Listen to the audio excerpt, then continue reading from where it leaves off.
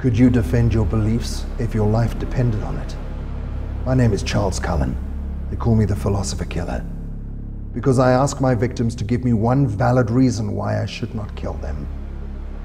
Ideas, you see, have consequences.